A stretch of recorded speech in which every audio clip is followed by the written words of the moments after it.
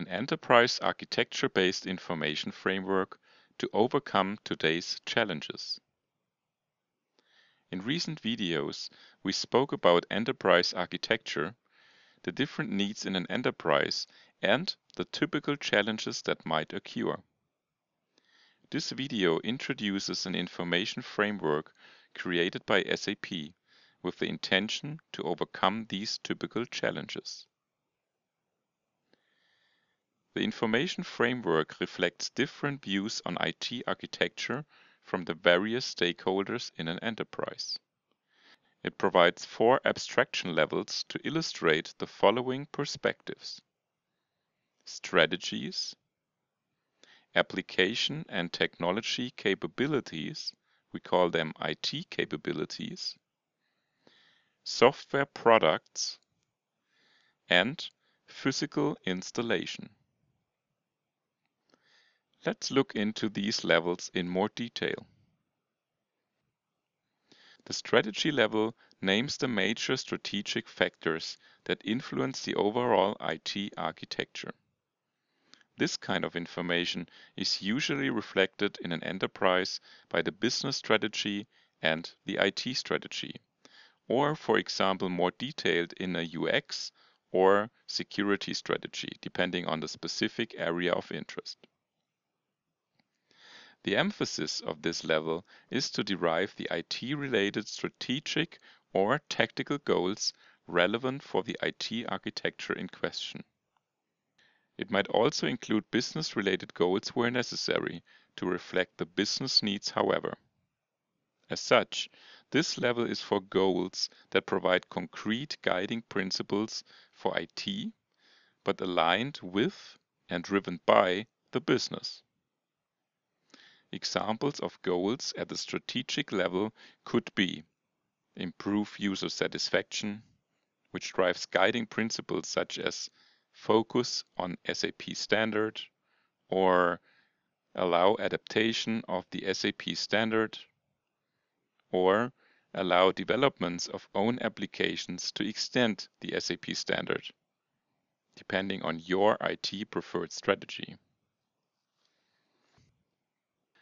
The IT capability level is where we collect the various capabilities needed to meet the goals described at the strategy level. Capabilities are functional requirements that need to be delivered later by an application or a product. This level targets the design principles of IT architecture in the enterprise at an IT-specific but still software product agnostic level. This includes a SAP agnostic view as well. Examples of capabilities are responsive UI, screen personalization,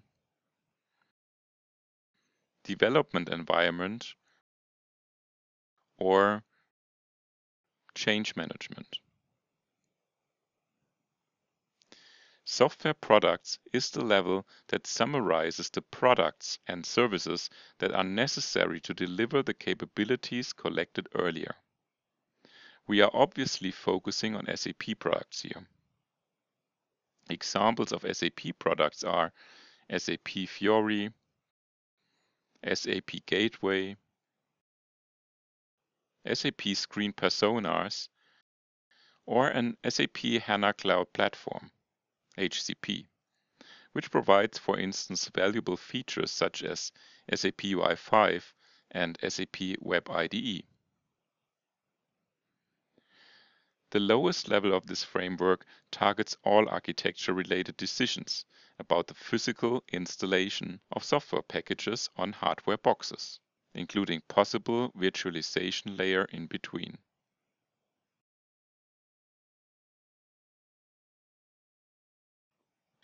An example here might be a productive SAP ERP system named P11 that includes a SAP Application Server 7.4, a SAP ERP 6.0, and additional software packages for SAP Screen Persona 3.0 or SAP Fiori.